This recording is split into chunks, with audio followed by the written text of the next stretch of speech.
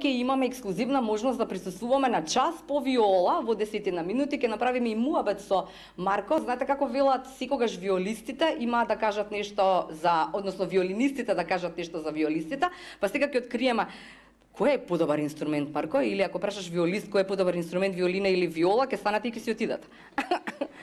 Не знам, тешко е да се каже кој е подобар инструмент, затоа што нормално виолинистите ќе кажат дека виолината, виолистите виолата, меѓутоа подобри луѓе се виолистите. ние сме по креативни, ние сме по повеќе целиме кон хуморот, така да измислуваме вицови за виолисти, за виолисти за да можат тие се кратки за да можат виолинистите да ги сватат. Така да Некој има, да кажеме, да ги сватат виолинистите? А, има многу, ама сега не би кажувал сега, за да не ги засмеаме од Сабајле толку рано. така. Зошто? Заради хуморот избра Марко Виола? Не, не. Виола избрав сосема случајно и свирев виолина и имав професор во средното музичко во Битола, бидејќи бев прилично мрзливо дете. Една вистина во вицевите.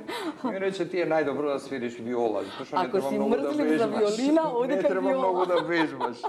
Така почнав, меѓутоа не е тоа така. За да се биде успешен, не нема мора да се вежба, мора да се посвети човек на на вежбањето на било кој инструмент, поготово гудачки инструменти.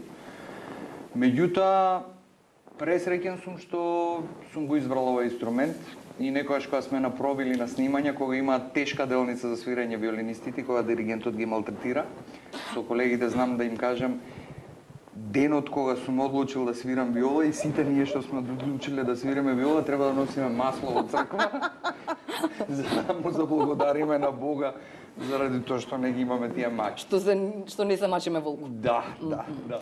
А кога сме кај тоа, што е разликата? Која е разликата, освен можеби во поголем инструмент од виола, така Да, ли? разликата е тоа што виолата е поголем инструмент, има една жица е различна, значи нај длабоката жица е С на, ви, на виолата, а на виолината е Г. А највисоката жица на виолината е Е, тоест ми, а на виолата е Ла. Добро. Тоа е една од разликите. А кога сме кај тоа, што е составена виолата, може да ни кажете? Исто е составена како и виолината, значи. Ама не има- почнува со виолини, ке се јави некој. да. Значи, а, труп или тело, Да. врат, гриф, глава или полжав, чиви, кобилица, жичник, подбрадник, внатре има едно делче што е душица.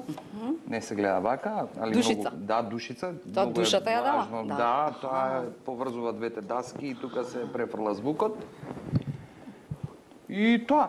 Тоа е тоа што е Да. Тоа се составните делови. Да, кога одите на патувања, гледав еден документарец за Андре е, и неговиот нели Да, оркестар да, и така да, натаму и за тие патувања имаат на пример виолончело беше изгубено, оштетено, не можеше да се поправи. Имате вие такви проблеми кога се во прашање големи турнеи и Имаме одење? проблеми да со виолончелистите најчесто имаме Со проблеми, да, затоа што нели нормално и во, со право не сакаат да ги остават своите инструменти да одат во багажот долу во авион, затоа што се нежни аеродромските служби со багажот и затоа одат во авион.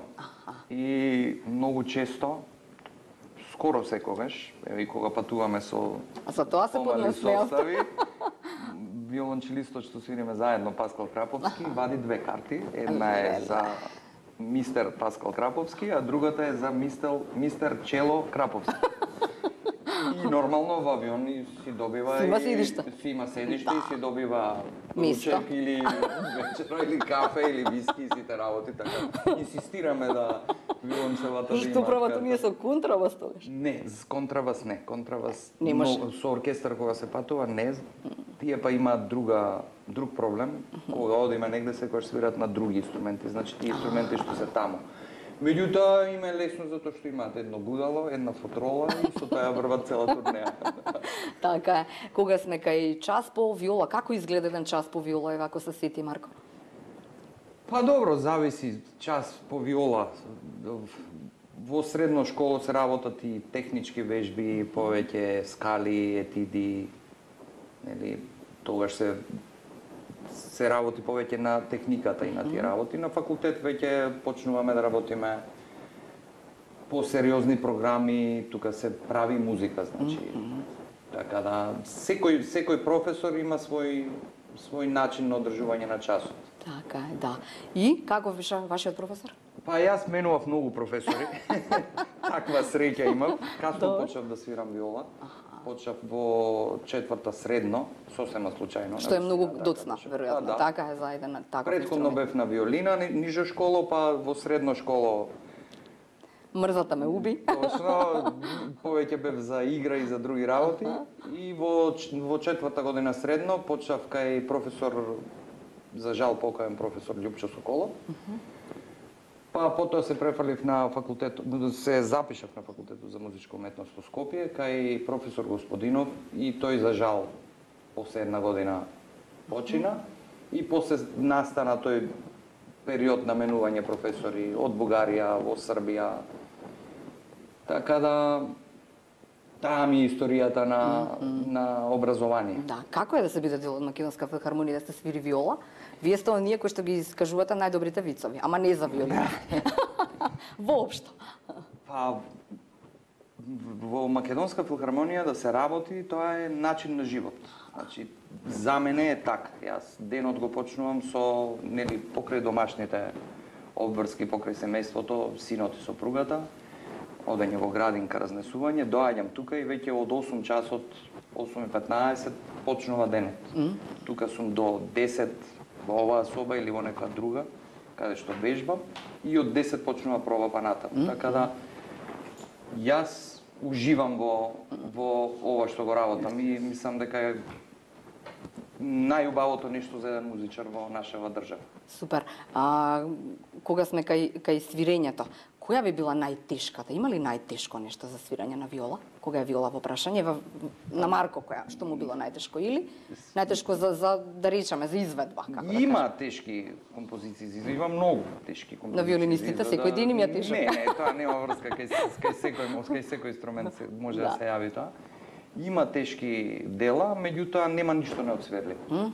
Така да кој ќе каже дека ова не се оцвирува, значи дека или не Е мрзлив. или бил мрзлив. Така да. А кога сме кај вежбањето, колку треба за да си во кондиција? Колку треба да да вежба човек кој што Тоа е зависи професионален од поединец зависи, Аха. не нема правило. Да. Најважно е дека мора да се вежба. Тој што ќе ви каже дека научил се и дека нема потреба веќе да вежба, тој или лаже или е многу мрзелив. А, На, нек, на некого му треба за некоја програма, на пример, да среди или некој дел од некоја Да. композиција, може би му треба еден час, на некој половина час, на некој пет часа му треба. Да. Меѓутоа, најважно е резултатот да биде на крајот таков како што треба. Како да што треба Да, да да. Така е. Супер. Можеме ли за крај, а чекайте вака сега, само да поделиме ваши стихови. Еве сега само да се снајдам јас. Еве вака, зборови е на Марко Видиновиќ, прекрасни, прекрасна книга поезија. Вика, не чекај сонце да те огре ќе замрзнеш. Биди ти нечие сонце, само така ќе узреш, ама нема да биде тука крајот, останувам уште некоја минута заедно со Марко Видиновиќ и нашиот час по виола. Се договоривме јас да пеам и не ми забележувате како ќе изгледа ова, Билјана платно белеше, ама Марко, може за крај. Билјана